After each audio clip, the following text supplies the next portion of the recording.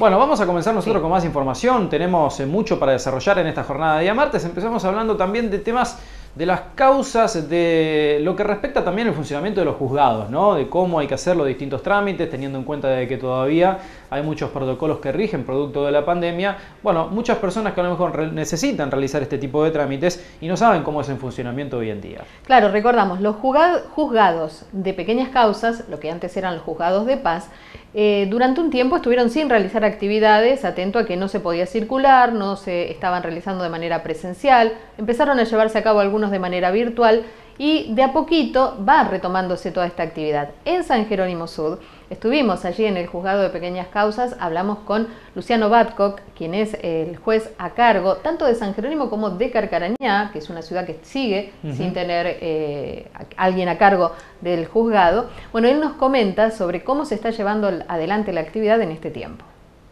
Desde hace poco más de un año y medio venimos con un cambio, digamos, todas las reglas de convivencia. La verdad que también eso pone en crisis a todos los sistemas. Desde el Estado obviamente ha habido muchos cambios, eh, han acelerado algunos procesos de informatización. Eh, en el Poder Judicial veníamos un poco atrasados con, las nuevas tecnologías y esto obviamente ha impulsado una serie de modificaciones, pero queda mucho por hacer, Mario. La verdad que eh, la cuestión de la presencialidad siempre ha sido algo muy, fuerte, digamos, en, lo que es el tema gestión de conflictos. Y bueno, ahora hay que adaptarse, hay que hacer esfuerzos, hay que tratar de ser creativos también para encontrar nuevos caminos, eh, forma de dar respuestas a nuevos conflictos. No olvidemos que con el tema de la pandemia, el tema de la violencia familiar eh, se ha incrementado muchísimo, conflictos de convivencia por, por el hecho de estar en casa mucho más tiempo, tener que convivir con, vecinos durante más horas del día y bueno, eso obviamente ha cambiado la forma de relacionarnos y para eso también nosotros debemos ayornarnos y adaptarnos a esa nueva realidad, lo cual implica cambio de metodologías, cambio de procedimientos y sobre todo va a ser una nueva mentalidad ante esa nueva realidad. Y los horarios se sigue manteniendo el, horario tradicional, que es de atención al público, de 7 y cuarto a 12 45. Eh, sí se hace por turno por una cuestión de evitar aglomeraciones de gente.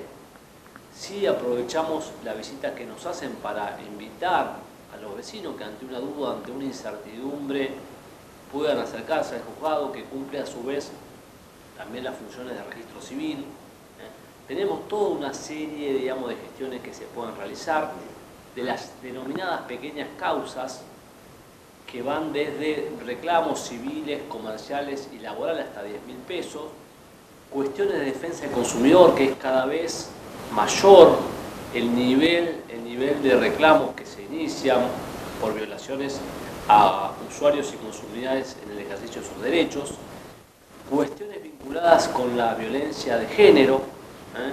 violencia familiar. También tenemos lo que es una herramienta sumamente útil que son las mediaciones. Las mediaciones prácticamente para todo tipo de conflictos sin tope cuantitativo, o sea, de montos, y es una herramienta muy importante porque se realiza en base al diálogo de las partes.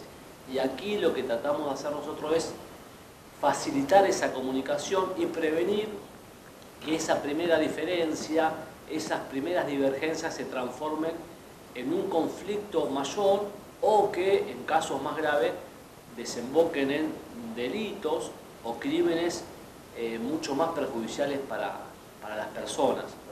Así que tenemos un amplio abanico digamos, de, herramientas, de instrumentos y quizás eh, en muchos casos no llegamos a, informarlo de la mejor manera. Entonces, por eso es importante la presencia de ustedes para que, para que el vecino sepa y si hay alguna duda, más vale pasar y consultarlo. También recibimos denuncia, eh, conformamos parte del primer nivel del sistema de niñez. Eh, cuando hay alguna vulneración, algún niño, niña, adolescente, en cualquiera de sus derechos, cualquier persona se puede acercar al juzgado va a ser escuchada, va a ser oída y va a ser atendida.